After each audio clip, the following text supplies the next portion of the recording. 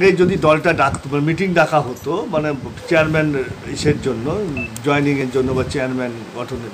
আমরা বাইশা করে তো জিততাম এটা কতদিন আগে ডাকলে ধরুন আটই এপ্রিল বারোটা পঁয়তাল্লিশে রিমুভাল করা হয়েছে। তারপরে সাত দিন আমার হাতে সুযোগ ছিল। আমি একটা মিটিং ডেকেছিলাম।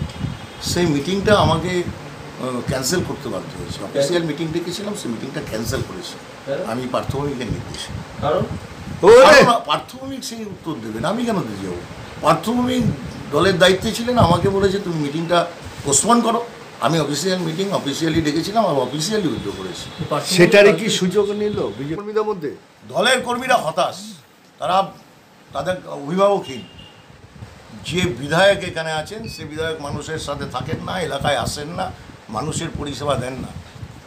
অন্য কোনো বিকল্প কাউর নাম চিন্তা করে যোগ্য ব্যক্তিকে, স্থানীয় ভিত্তিতে বিধানসভা নির্বাচনে টিকিট দেওয়া হোক।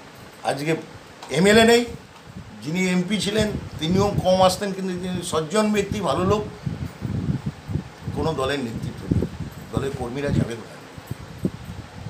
না, দেখুন, অর্জুন সিং এমনই একটা ক্যারেক্টার সে মানুষের সাথে ছিল, এটা বাস্তব। সে দীর্ঘ সিপিএম বিরোধী আন্দোলনে মমতা ব্যানার্জির সাথে আন্দোলনের মাধ্যমে তার প্রতিষ্ঠা হয়েছেন, তার নাম যশ হয়েছে এটা ভুল সে ময়দান থেকে কোনোদিন সরে যায়নি এটা হচ্ছে ওর একটা চরিত্র এটা অস্বীকার করার কোনো জায়গা নেই। যে অস্বীকার করে সে ভুল। আপনি কি মনে করেন? দেখুন দলের সিদ্ধান্তে আমি একটা সাধারণ এখন পর্যন্ত উনিশশো নব্বই সাল থেকে দিদির সাথে আছি। এখন পর্যন্ত আমার দায়িত্ব একটা পার্টির সক্রিয় কর্মী। সেটাও কতদিন পার্টি রাখবে সেটা আমার সন্দেহ। আপনিও থাকবেন? আমি অবশ্যই থাকব। আমাকে পার্টি কতদিন রাখবে সেটার ব্যাপারে আমার সন্দেহ আপনার একজন স্থানীয় কর্মী হিসেবে কি মনে হয়? দীনেশ ত্রিবেদীর থেকে অর্জুন সিং যোগ্য প্রার্থী